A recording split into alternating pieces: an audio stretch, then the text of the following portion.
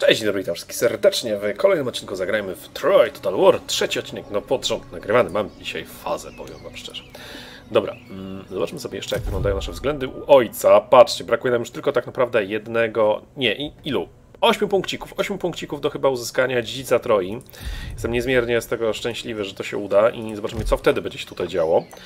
Nie wiem, może się okaże, że przeciwnicy dostaną mega boosty i po prostu szczeźniemy w płomieniach wojny, ale zobaczymy. Na razie nie przesądzam z werbuj wysłannika. Może ktoś nowy? Może mieć tylko trzech? Faktycznie? Tylko trzy kapłanki? Serio? Szczerze chciałbym mieć ich więcej. Na przykład tak jak w Medivalu nie było tak naprawdę ograniczeń. Ale trudno.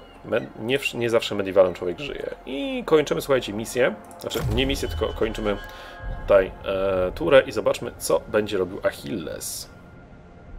No i Achilles ucieka oczywiście. Mhm. No my nie będziemy go gonić, my po prostu zaczniemy tutaj masowo dewastować mu e, włości.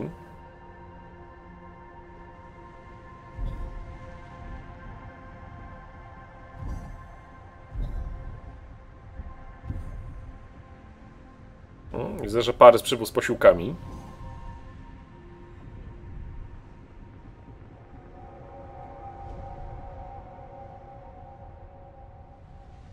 Boże drogi, Grecy przeprowadzali inwazję na Trojan, a teraz Trojanie przeprowadzają inwazję na Greków.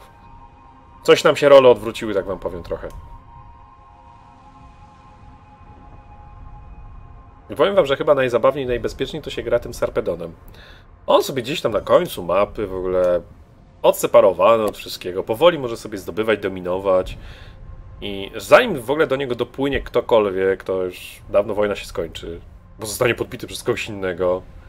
Taka najfajniejsza chyba frakcja dla, dla początkujących. Przynajmniej logistycznie, złożenia takiego. Dobra, czego wy chcecie? Mm, drewno za kamień. Raczej nie. Może mam dużo tego kamienia, to wszystko wolałbym mieć trochę więcej. Taki zapas, bo jeden duży budynek, taki jakiś drogi, no i kamienia nie ma się. E, tu tak samo. Aż tyle tego drewna naturę to też nie potrzebuję.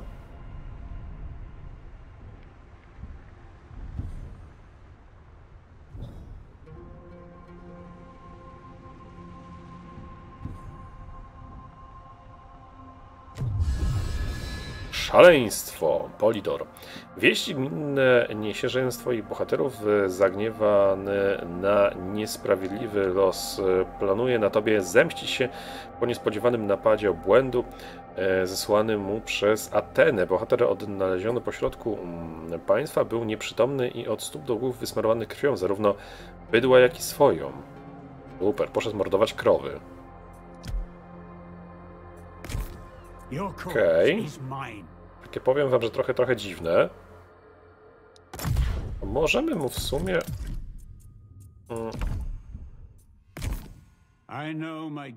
No takie trochę nietypowe, nietypowe zachowanie z jego strony, ale okej. Okay. Polidor, wszystko mam nadzieję, że w domu spokojnie. Słuchajcie, chyba będziemy musieli wylądować i faktycznie mu trochę podnieść tą relację z nami. Więc na pewno wylądujemy sobie mm, tutaj agentem. E, Polidorze, nie denerwuj ty się już człowieku, po prostu wyjdź sobie tutaj na spokojnie, poddychaj świeżym powietrzem, jesteś na terenie Parysa. No, no już, już, już, już, już. Zwłaszcza, że to wiesz, to bydło na środku morza, to też nie jest zbyt dobry pomysł. Spokojnie, spokojnie, nic się nie dzieje. Nad wszystkim panujemy, prawda? E, dobra. Jeszcze trochę dalej, bo zająłeś tutaj miejsce możliwe do chyba Dasz radę hektorze tutaj dopłynąć? Mam nadzieję. I wtedy będziemy mogli sobie, słuchajcie, tutaj uderzyć na tą prowincję. Nio, nio, nio, nio. Fantastycznie. Okej. Okay. Tylko tak, staniemy sobie tak, żeby być kręgu. Teraz zobaczcie, możemy mieć cyklopa. O Jezus Maria, cyklop to jest ta, ta jednostka, którą naprawdę chyba chciałbym widzieć w, swoi, w swoim wojsku się tak zastanawiam, czy nie zrezygnować na przykład z jednego oddziału łuczników na przykład i zwerbować sobie tutaj, wiecie, taką ciężką, przyboczną jednostkę dla Hektora.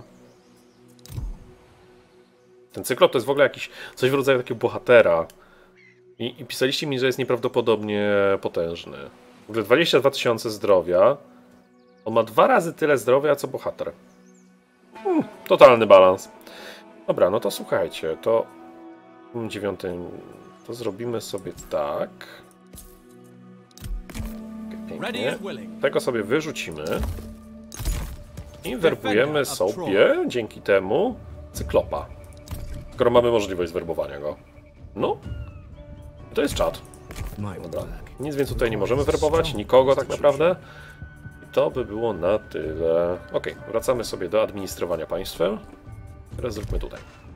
Teraz ulepszenia. Tu wszystko jest. Można by porty poulepszać, ewentualnie mury. Myślę, że może te porty... Tak, ta żywność. Ta żywność jest moim takim przekleństwem, które będzie mnie prześladowało do końca chyba tej gry. Ok, przy okazji. Złoto będzie mi potrzebne, więc na razie nie. Tutaj też złoto będzie potrzebne. Można by... Dobra, zróbmy to. Tutaj na razie też nic. Zróbmy sobie... To, bo to wymaga po prostu tylko drewna.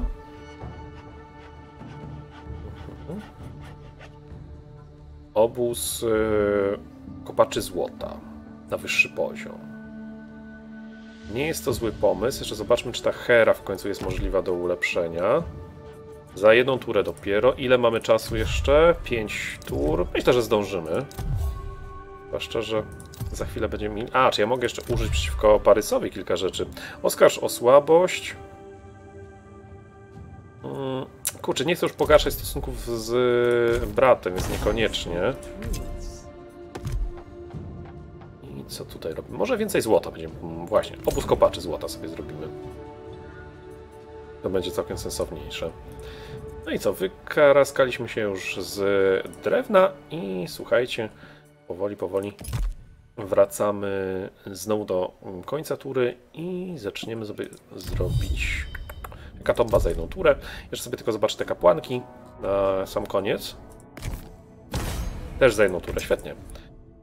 E, no to wspaniale, słuchajcie, kończymy turę i w następnej zaczniemy chyba atakować, bo tutaj widzę, że garnizon jest po prostu tak przeciętny, że my się przejedziemy po tych prowincjach. Nie będziemy ich przejmować, my je zniszczymy po prostu.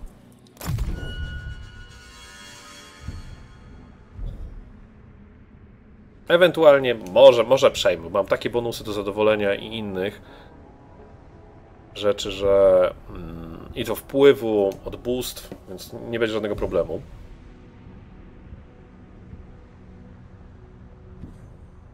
Ale jestem zaskoczony wręcz totalną nieporadnością komputera. Mm, w tym, jak sobie. On nawet sobie nie radzi w wojnie z jednym Parysem, tak naprawdę. No chyba, że zacznie się zaraz chwilę jakiś event, w którym zostajemy faktycznie władcą Troi. No i komputer dostaje po 5 armii, każda frakcja po prostu je but na nas. Mm, to wtedy, wtedy może być problem. Dobra, umowa handlowa. Brąza. Mm, taka średnia ci powiem. Zwłaszcza, że ty masz sporo tego wszystkiego. Brązu. To, to nie, nie jest to dla mnie korzystne, wybacz.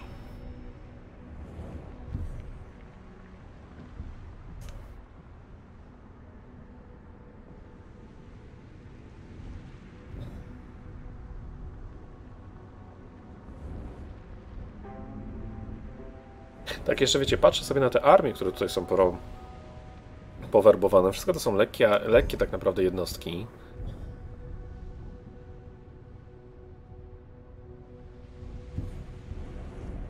Nie, jest, nie są to mm, jakieś wybitnie skonstruowane. Dobra, ich żądania. Czego wy chcecie? 59 sztuk złota w zamian za... Wiecie co? Nie, nie zgodzę się na to, bo to jest bardzo niekorzystne. Złoto jest dużo więcej warte niż to, co oni oferują, więc na razie nie.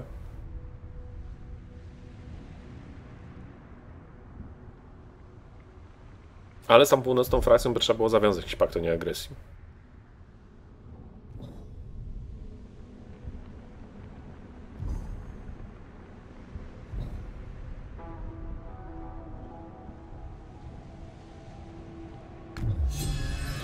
Działanie wroga wysłannika, krytyczna porażka, fantastyczne. W ogóle pierwszopoziomowy agent chciał skosić 11-poziomowego, nieźle. To my w takim razie jesteśmy w stanie tutaj, słuchajcie, teraz. Więc tak, może spróbujmy skasować jego, ma 5-poziomowego. 14% na krytyczną szansę, no dość dużo. Próbujmy. Sukces, no i fantastycznie.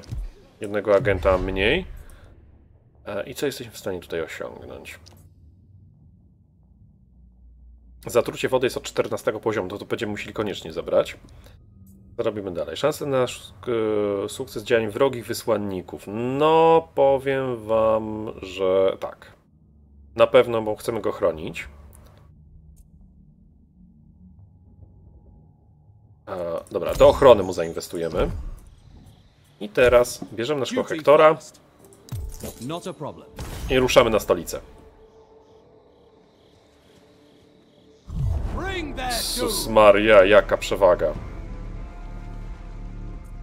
Dobra. Ściągniemy do pomocy jeszcze e, przy okazji hmm, Polidora. Bo ostatnio tak troszeczkę się chłopak, nie wiem, podupadł na psychice. A gdy on walczy z kimś, to znacznie mu wzrasta poparcie i motywacja. I mamy, słuchajcie, błogosławieństwo Hery plus 20% obrażeń od pocisków do jednostek procarzy. To raczej nic nam nie daje, bo nie mam procarzy. No i mamy Aresa. Gigantyczne wsparcie od strony Aresa. Into battle!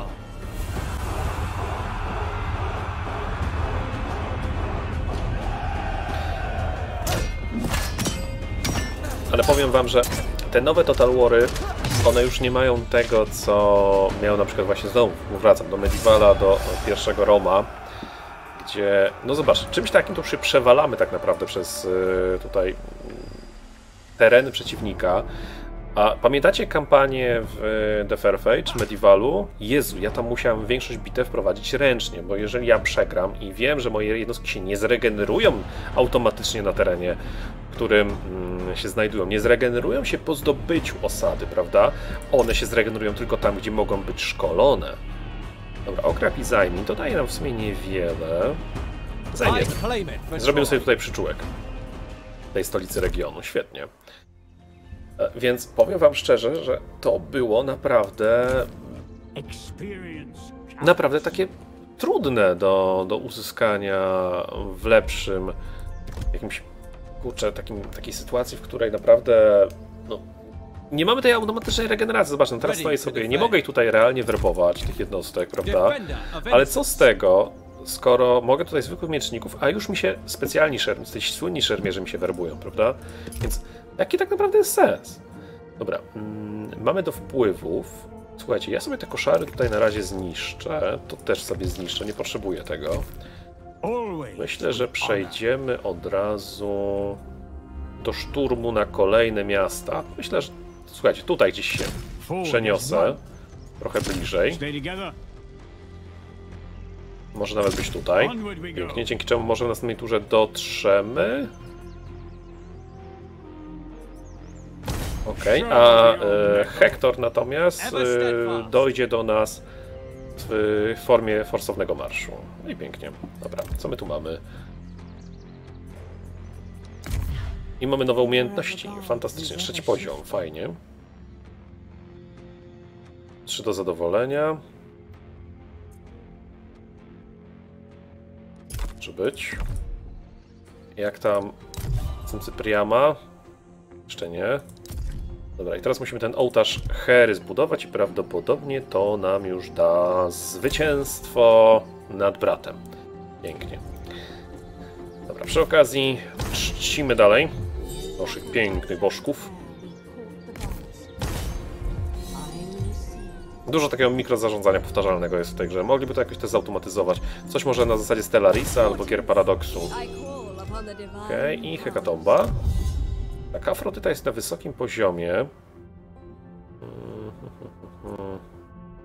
Poseidon umożliwia werbowanie cyklopów. Męczenie w bitwie minus 20% dla wszystkich jednostek mitycznych, jeźdźców i rydwanów. Morale dla wszystkich jednostek mitycznych. Afrodyta, co mi da, umożliwia zwerowanie satyrę. Ten satyr by mi się bardziej przydał, wiecie? Tutaj mamy na wyższym poziomie ją. Więc zróbmy hekatombę. Hekatomba w ogóle ją wbije chyba na najwyższy poziom. Będziemy mogli zrobić satyra. Super. Wzrosta, wzrost poziomu kultu Afrodyty. Fantastisch. I możemy zrobić epickiego wysłannika. Gorgona, Satyr. Pięknie. No i to jest cudnie, bo będziemy mogli zwerbować sobie, zbudować sobie naprawdę dużo rzeczy. W takim razie. Więc powiem wam szczerze, że chyba w następnej turze po prostu zrobimy to, to to i to, a następnie użyjemy satyra do ulepszenia tego w jednym, w jednym momencie.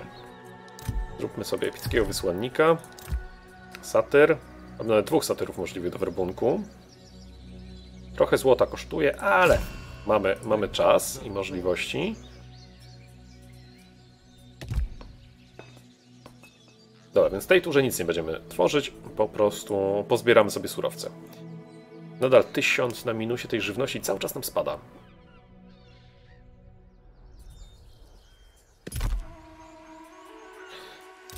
Tu jest? Czy ty nie chciałbyś ze mną zhandlować tej prowincji? Co ty na to? Choć nie, tutaj jest Achilles. No, Achilles straci większość swoich włości, ja wam to gwarantuję.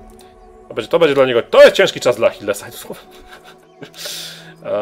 I chyba by to było na następcy Priama. Jeszcze sobie ligę zobaczmy. Wielkie przymierze już nam powstaje.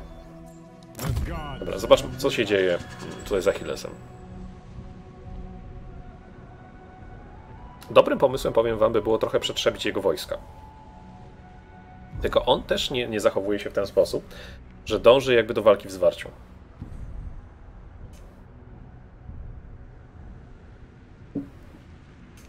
Rozwiązanie może być też zajęcie wszystkich jego osad wtedy zmusimy go wtedy do walki.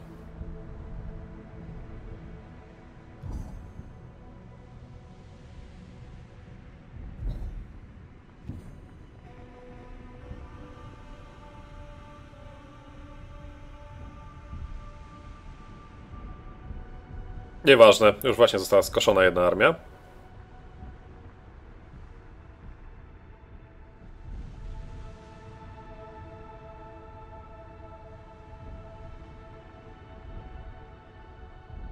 Nie jestem nawet, wiecie, pewien, czy nie powinienem tutaj ruszyć e, swoim wysłannikiem, żeby powoli osłabiać mu jednostki, zatruwając prowiant.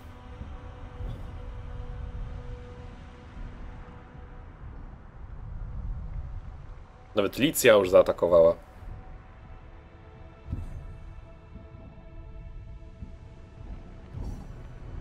Amazonki dołączymy do wojny. Jezus Maria, co tu się dzieje?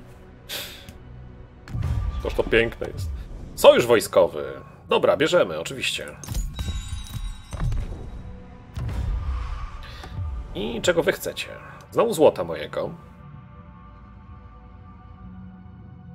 Hmm. Nope. Za mało za tyle złota.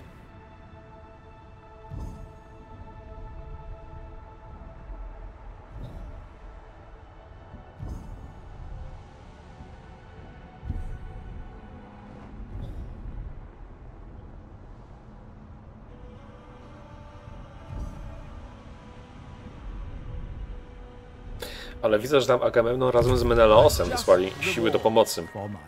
Misję przydzielono. Aneks Eubei. Eubei. Następujące regiony Eryteja, Styrkos. Okej. Okay. To jest y, misja zwykła. Trójząb Posejdona dostaniemy. Plus 10 do obrażeń przepijających pancerz w trakcie bitwy na wyspach. Ta armia. Okay.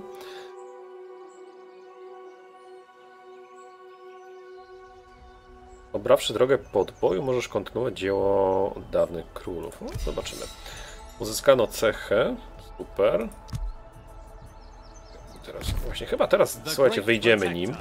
No i będziemy te wpływy zwiększać.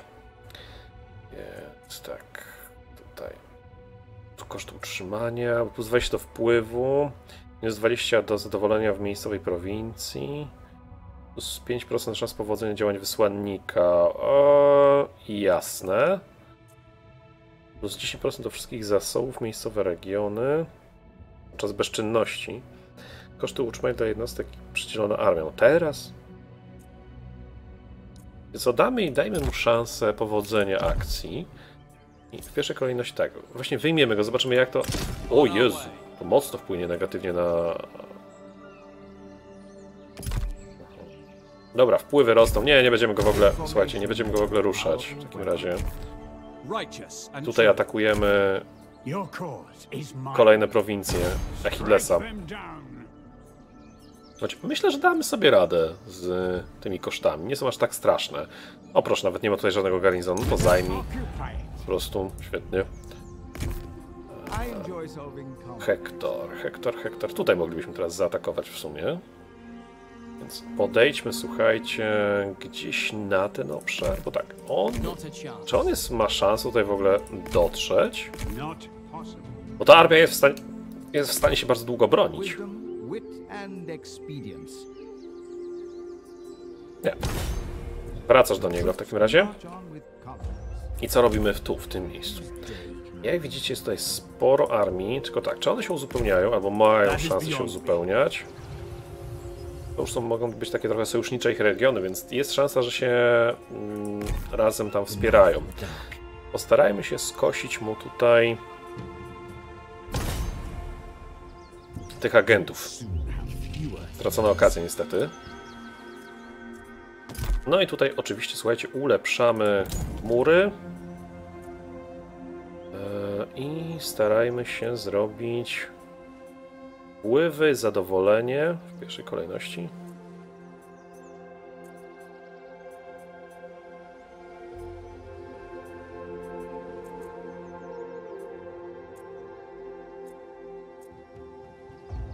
No czemu by nie? Faktycznie wpływy się przydadzą akurat.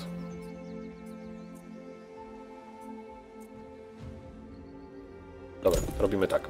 Dygnitarza drugiego raczej nie mam szansy zwerbować. Choć nie, czekajcie, możemy. I będzie od razu na szóstym poziomie doświadczenia. To byłoby super. Stać nas na to, mamy dużo złota. Więc tak, plus 3 do wpływu po udanym działaniu w własnej osadzie. 10% szans powodzenia działań wysłannika. 10% zasięgu ruchu wysłannika. e, 3 do wpływu. 3 do wpływu w prowincji po udanym działaniu we własnej osadzie przeciwko obcej osadzie. Dobra, weźmy sobie w takim razie tego. Bo on jeszcze działa tutaj bonus Hektora, po prostu możemy powerbować tych wysłanników. Epickiego wysłannika nie ma co werbować, dygnitarz drugi nie będzie nam potrzebny, ale fajnie. Zamiast mm, chyba trzeciego poziomu czy drugiego, on ma od razu szósty. I zobaczmy, co my możemy tutaj zrobić. Przede wszystkim zależałoby nam na tym wpływie, więc wpływ w prowincji. Szansa powodzenia. 10% podczas prowincji bezczynności to może niekoniecznie. Koszt utrzymania. To dla tej drugiej armii byłby to dobry, dobry patent. Dla e, poli coś tam. Koszty utrzymania dla wszystkich jednostek po przydzieleniu do armii bierzemy.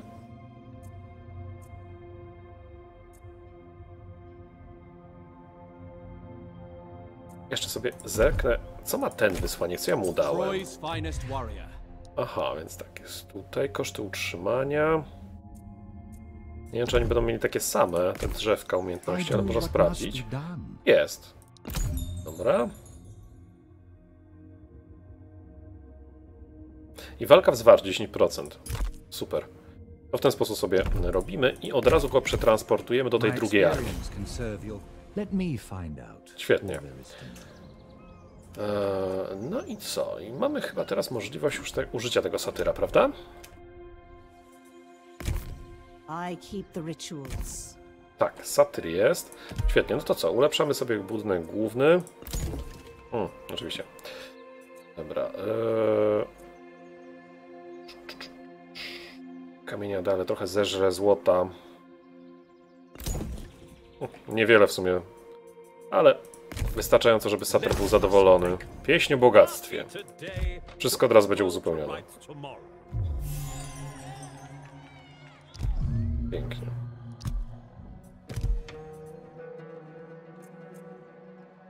Tak mi się przynajmniej wydaje. Czekajcie, czy satyr? Bo zaraz się okaże, że ja coś źle zrobiłem. Co robi satyr?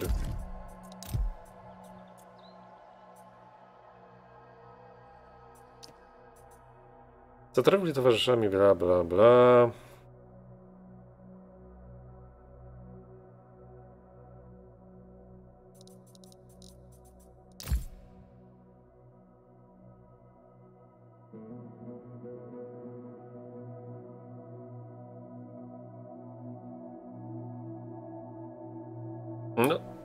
No to zrobiliśmy. Dobra, to teoretycznie, słuchajcie, tu się powinno wszystko zbudować w następnej turze. I wszystko powinno być gotowe, więc przejrzyjmy w takim razie. W imię bogów. Ok, Sanktuarium Hery za chwilę będzie gotowe, z tego co kojarzę. Właśnie.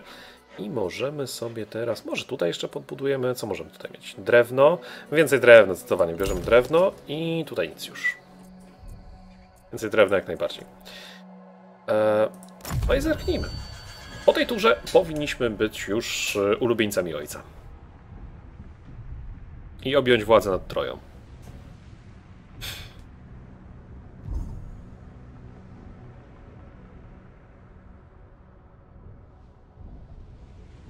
O!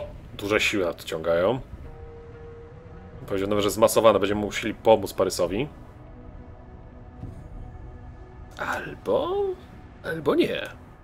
Nie musimy pomóc Parysowi. Możemy pozwolić Parysowi przegrać i wtedy przejąć prowincję.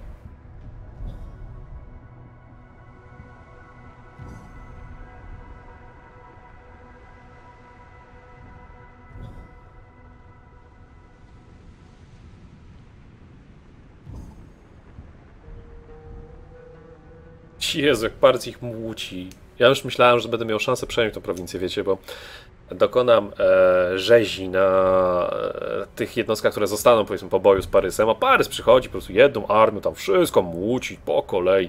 Tutaj też mu zasadzić. Tutaj Dardani z kolei możemy teraz pomóc, słuchajcie. Mamy sojusznika, który oblega ich e, miasto i będzie w takim razie tutaj szansa stoczyć całkiem epicką bitwę.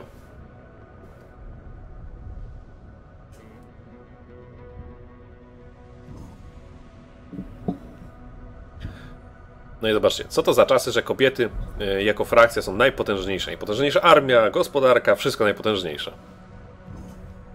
I cała armia złożona z kobiet. Zero mężczyzn. Może to jest dla nich przepis na sukces. nie słuchajcie mnie, panie, nie, słyszeliście, nie słyszałyście tego. Czego? Pakt o nieagresji. Mm, no raczej nie, bo jesteś dziś oddalony ode mnie.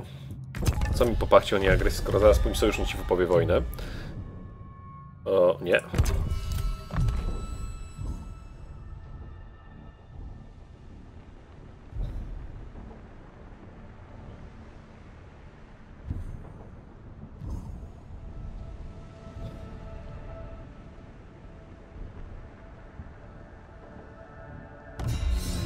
Dobra, w imię bogów, pięknie, mamy kaprys Priamas zrobiony i e, kaprys przydzielono. Wytyczne zniszcz lub złup dwie osady. Misja przydzielona. Aneksja Tesalii. No powiem wam, że trochę nam tutaj już dali takie misje poważne. I z tego co widzę, powinniśmy móc dokonać e, już cudu. Mamy wszystko, co ojciec chciał. Więc teraz pytanie, czy, czy to trzeba przez dyplomację zrobić? Troja? I'm gladdened that Troy wishes to speak. Hmm, nic nam nie da. No zobaczmy. Czy jeszcze w takim razie jesteśmy w stanie poprosić jakieś wsparcie? Nie, nie da nam już. Zbyt często dawał w takim razie. A, dobra. I zobaczmy, czy te budynki się stworzyły. Nie. No to po cholerę ja tego satyra zrobiłem. Czy to chyba tylko w jednej prowincji? Aha, okej, okay, to już wiem jak to działa w takim razie. Tylko jeden, to generalnie w tej głównej prowincji. Jeżeli bym użył to powiedzmy na Adrestei, to faktycznie wszystko się ulepszy w Adrestei, ja po prostu zmarnowałem satyra. Hmm, dobra, no, człowiek się uczy, trudno. Na błędach niestety. Eee, co robimy tutaj? Teraz to przerywamy na chwilę, wrócę za chwilę. Okej, okay, jestem już z wami. No i dobra, słuchajcie, to będziemy dalej sobie w takim razie tutaj ulepszać te poszczególne budynki. Mamy cztery tury dopiero do opanowania e, tej... w zasadzie 400 sztuk złota. Dobra, nie jest aż tak ważne, powiedzmy teraz. E, trzeba byłoby zainwestować w tą żywność nieszczęsną. Więc zobaczmy, gdzie mamy... Gdzie możemy mieć żywność? W prowincji, jeszcze raz. Odrasta. Tutaj nie, tutaj jest głównie... Znaczy, żywność i tak produkujemy z tego budynku trochę. Mm, tutaj tak samo żywności nie ma. Czy to są prowincje, które dają mi żywność? Nie, to jest też kamień, drewno niestety. Najwyżej mogę sobie to ulepszyć. No i spróbujmy w takim razie zrobić. To są jedyne rzeczy, które mogę tak naprawdę poulepszać. Będziemy w to inwestować. Idę. Mm, tutaj za chwilę będziemy mieli boost, świetnie. No i nie wiem, czy. Nie, to zostawimy sobie też w takim razie. Lesbos. Lesbos też jest ok. Mm, no i tutaj farmy, fantastycznie. Jak najbardziej się przydadzą. Dobra. Troszeczkę zminimalizujemy ten koszt, który nam tutaj cały czas, słuchajcie, doskwiera i no, staje się problematyczny.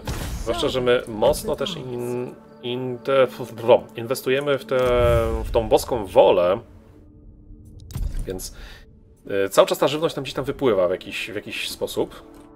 Okej, dobra, teraz bierze tak, Hektor. Co możemy zrobić z Hektorem? I przede wszystkim tutaj jeszcze tym agentem. Więc może tego agenta... O, tutaj są na terenie. Hmm.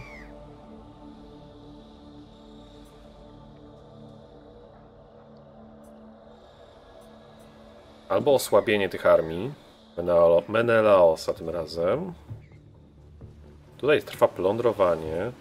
Dobra, wiecie co, zaczniemy ich trochę tutaj dziesiątkować, więc zatrucie wody I levelujemy. Oczywiście porażka. Super. Nie to, nie to bardzo, nie, nie to chciałem. I wspieramy. Myślę, że tak, ty oblegasz. To nie powinieneś dostać yy, sojuszników. Dobra, zaatakujemy w takim razie tą armię i wesprzemy Eneasza. Well, Przy okazji zobaczymy, słuchajcie, jak wyglądają te epickie jednostki. No, będzie całkiem fajny pomysł. Dobra, Marsz. pięknie. Tylko dawno nie było bitwy, słuchajcie, i myślę, że sobie to stoczymy mimo tak naprawdę gigantycznej przewagi, ale zrobimy to w następnym odcinku, więc dzięki za uwagę, do usłyszenia, jeżeli podobało Wam się, zostawcie łapkę w górę, zostawcie komentarz, zapraszam serdecznie do Patronite'a, no i na Face'a. Hej, papa!